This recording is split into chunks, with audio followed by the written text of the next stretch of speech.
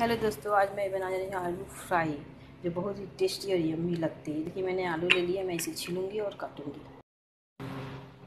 Hello दोस्तों, ये देखिए, मैंने इसे छील लिया, मैं इसे पीस पीस करने जा रही हूँ। ये देखिए, मैंने पीस काट लिए हैं, इस प्रकार मैं पीसीस काटेंगे।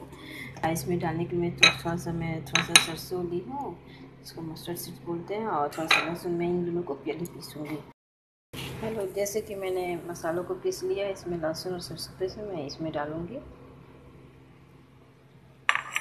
इसमें मैं थोड़ा हल्दी डालूँगी, नमक स्वाद अनुसार डालूँगी, मिर्चा पाउडर डालूँगी, और इन सबों को मैं मिला के मिलाऊँगी। इसे ओनली एक मिनट तक मैं रहने दूँगी। ओनली एक मिनट। देखिए, मैंने कढ़ाई में तेल रख दिए हुए हैं, ये देखिए। मैंने इसलिए रिफाइंड तेल डाला है। आप कोई भी जो तेल खाते हैं, हल्के से मैंने तेल डाला ताकि मसाले इससे हटे नहीं। अब मैं इसको फ्राई करूँगी।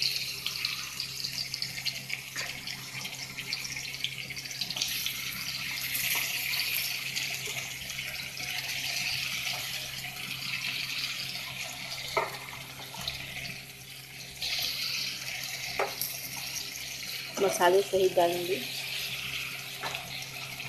मैं इसमें हल्के हल्के तेलों में यूज़ करूँगी।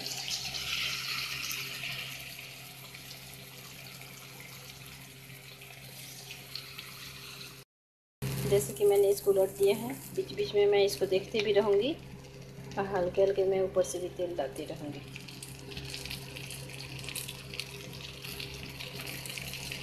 तेल मैंने बाद में इसलिए पहले मैंने कम डाला ताकि मसाले इसके हटे नहीं इसको हल्के हल्के में फ्राई होने देंगे दाल और चावल के साथ बहुत ही स्वादिष्ट लगते हैं।